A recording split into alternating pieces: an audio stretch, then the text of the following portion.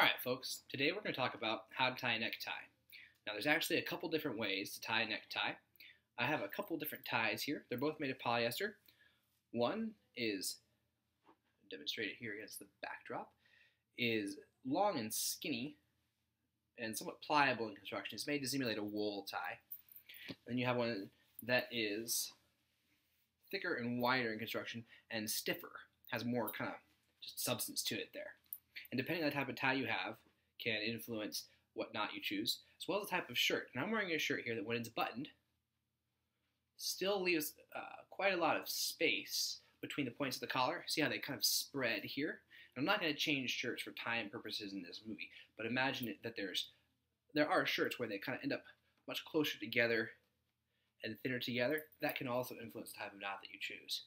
So we'll demonstrate the first knot here. The first step tying any knots, pop your collar up and tie, or as it was, button this topmost button. One wears a tie with that button, button like so. And this will be the four-in-hand knot. I'm going to demonstrate it with a thicker tie. It's a good knot for a thick tie because it doesn't take up much material. Standing end, the end that does not move. In this case, it happens to be the thin end. Active end, the end that does move. In this case, for this knot, happens to be the wide end. Throughout the film, I'll be referring to left and right as your left and right, not necessarily as you watch this. I'm using the camera screen here as sort of a mirror, and it usually works best to tie your ties with a mirror. I'm going to put the end of this tie somewhere in my general sternum region, somewhere between the top two or three buttons here of the tie. That can vary depending on your torso length and the length of tie that you have. So I'm simply going to take the active end around to the left of the standing part and cross back behind the standing end to the right sort of a tail here. I'm going to take that back around to the left. Just kind of created that pocket there in front of the tie. Up through my neck loop. And then down through that pocket I just created. At this point, the knot's essentially tied. You just need to kind of dress it down, snug it down somewhat, and then slide it up the standing end to arrive tied. Here, pull your collar down, taking care to make sure that it's folded down evenly all the way around. You present a uniform image there.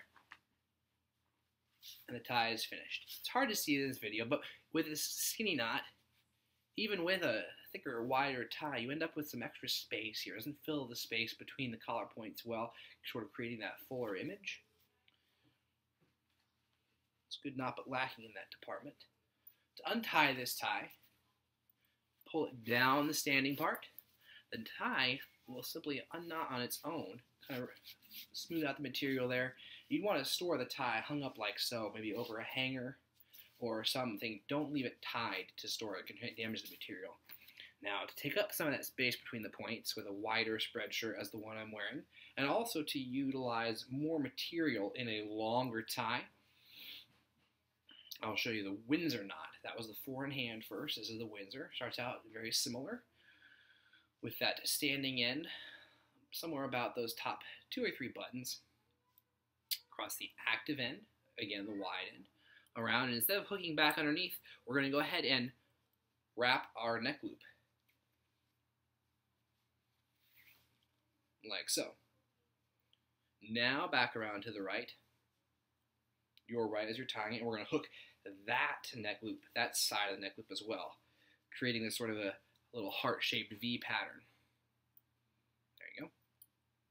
And you can see as we're tying this it's taking up more material, more turns. You're going to use up more of the tie that you have, which again makes it useful for a longer tie.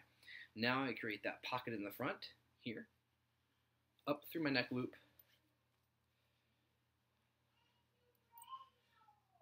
down through that pocket I created, dressing the knot down.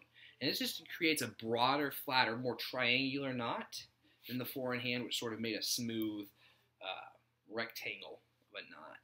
Dress that knot down, cinch not too tightly around the neck. Fold my collar points down. Back around the tie.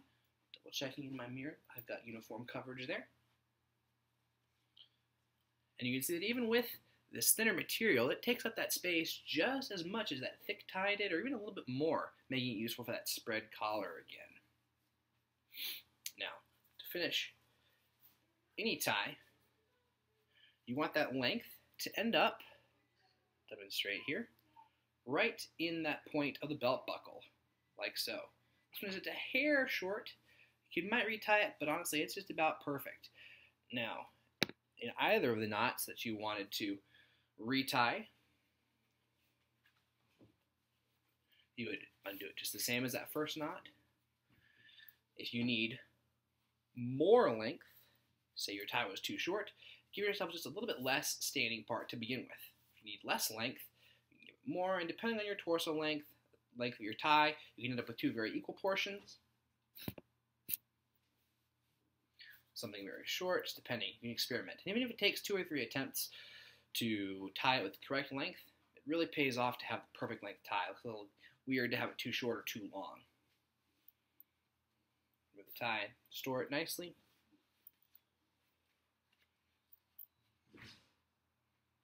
And there we have it. Two different ways of tying a.